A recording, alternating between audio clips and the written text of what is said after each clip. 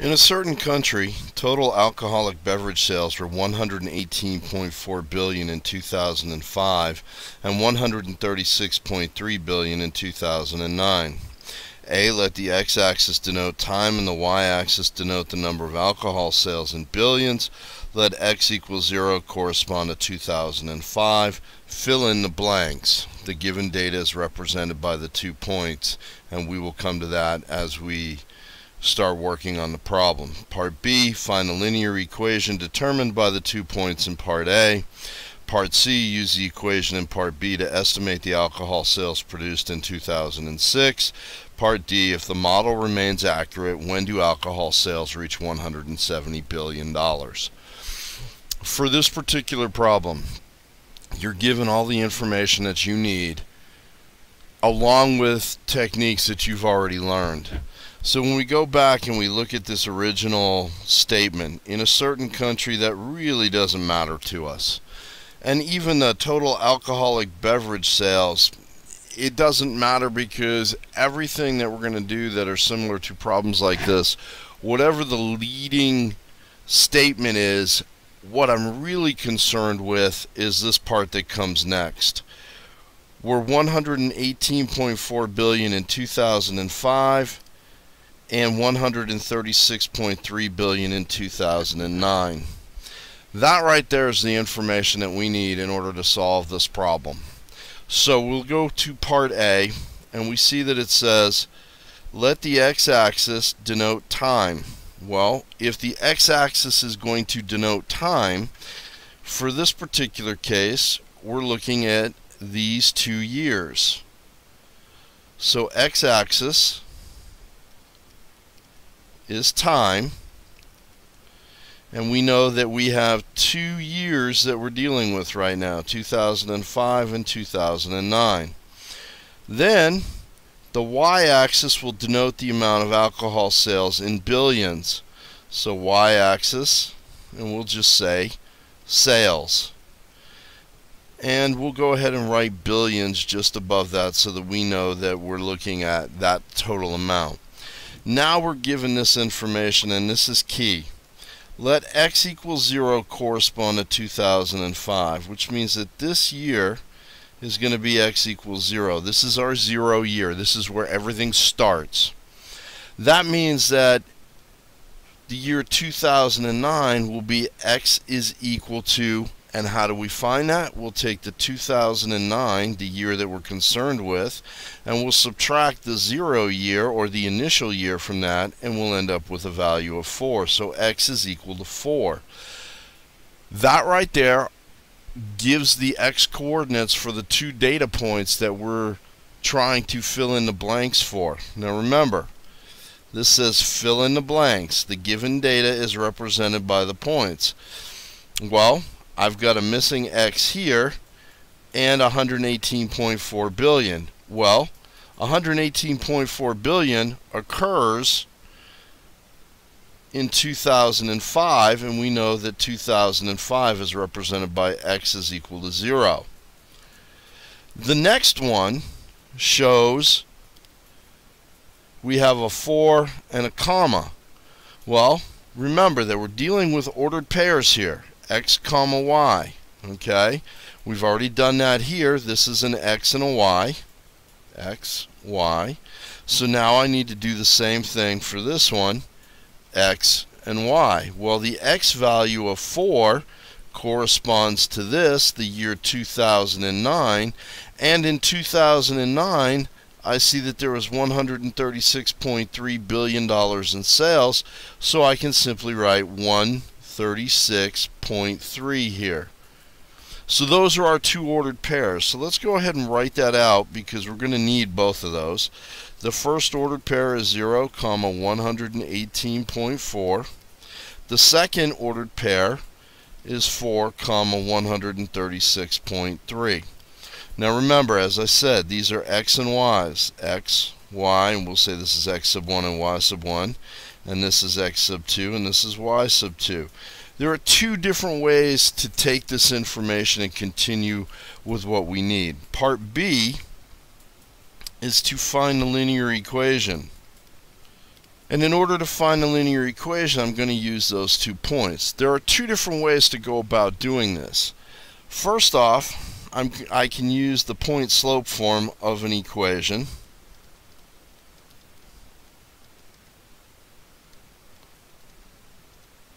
And that's given as y minus y sub 1 is equal to m times x minus x sub 1. Well, I don't have a slope, but I can easily find the slope for this problem using the slope formula, which is y sub 2 minus y sub 1 over x sub 2 minus x sub 1. That's one way of approaching this. Another way is if you realize that this right here is going to represent the y-intercept, and I know it's the y-intercept because x is equal to 0, I could use the slope-intercept form of the equation.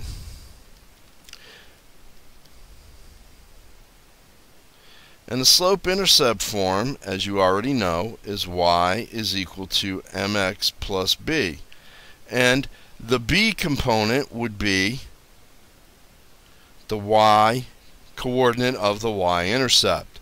And then I still need to find the slope, which we would still use this formula. So I'm going to go ahead and use the point slope form because this works no matter what I have for two points. So let's go ahead and find our equation using the point slope form. Well first off I need the slope and in order to do the slope I'm going to use y sub 2. Well, where's y sub 2? It is right here. So that's going to be 136.3. I'm going to subtract from that y sub 1. And where's y sub 1? Well, y sub 1 is right here, which is 118.4. And then in the denominator, I'll go ahead and start with x sub 2 which is this value right here of 4 and I'm going to subtract from that x sub 1 which is this value right here of 0 and then I simply use my calculator to find the value we'll see that we have 100 I mean 17.9 over 4 we're going to go ahead and do that division and we'll end up with a decimal which is 4.475 and it's okay if we have a decimal for the slope when we're dealing with application problems. Now since I know what m is I can go ahead and look at my slope intercept form and I'm going to need to take this slope of m which is this value here and I'm going to put it in place of this m. And then I'm going to go ahead and replace this y sub 1 with my value y sub 1 which we had already designated as 118.4 and then I'm going to take the x sub 1 and I'm going to replace that with the value that we had designated as x sub 1 and in this case it'll be 0. So now my equation looks like this. y minus 18.4 is equal to and the slope is 4.475 and we're going to multiply that by x minus x sub 1 and in this case remember that x sub 1 is equal to 0 now in order to use this I'm going to have to solve for y. So we'll go ahead and write this out as y minus 18.4 is equal to 4.475x. Now remember this 0 disappears and in order to solve this we'll simply add 18.4 to both sides. And since that's a constant we'll put it over to the right and I now have the equation y is equal to 4.475x plus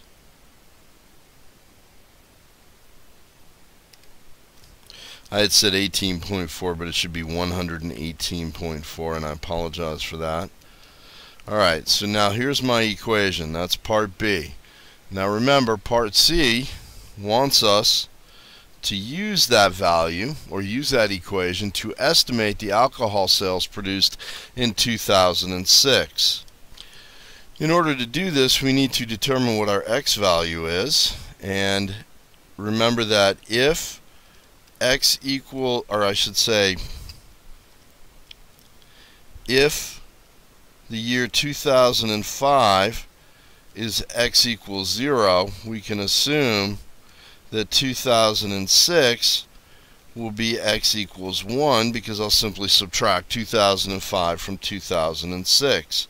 Well, if x is equal to 1, I'm going to go ahead and replace x in my equation y equals 4.475x plus 118.4 and now I'll end up with y is equal to 4.475 times x is equal to 1 in this case plus 118.4 so this will be equal to 4.475 plus 118.4 and that will be equal to 122.875. Now, one of the things that we need to keep in mind is sometimes the problem may call for you to round various components of this, and if it had asked for the decimal places to be rounded to a single decimal place, we could rewrite our equation as y is equal to 4.5x plus 118.4 and this could also be rounded if it's a single decimal place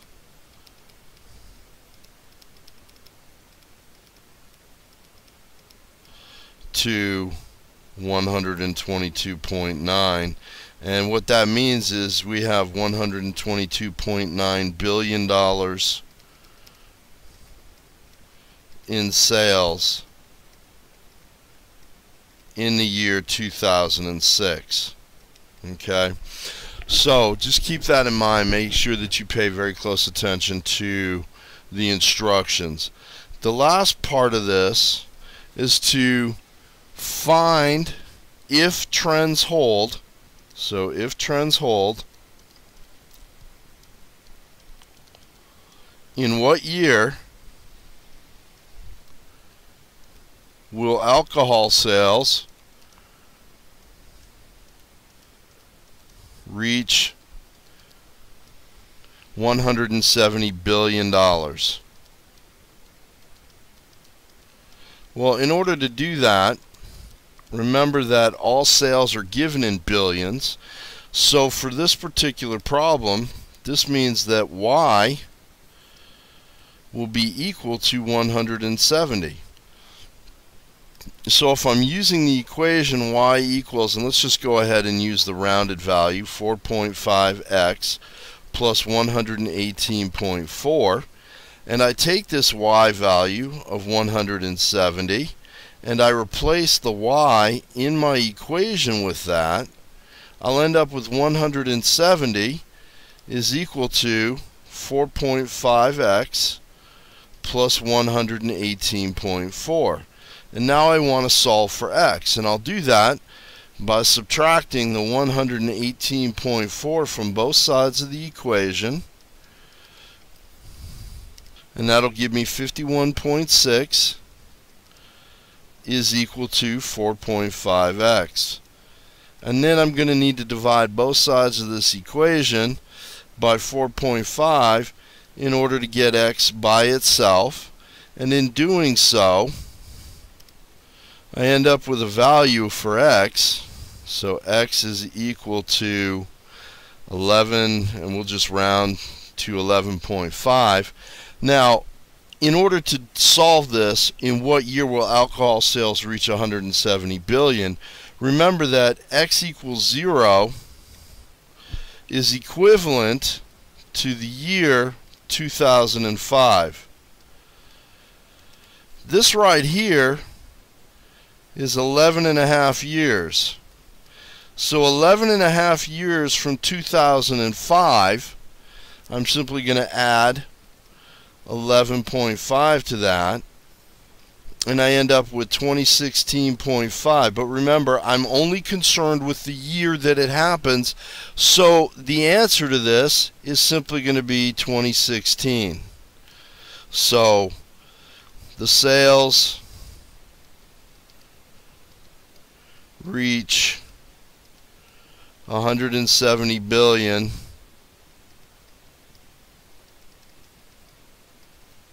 in 2016.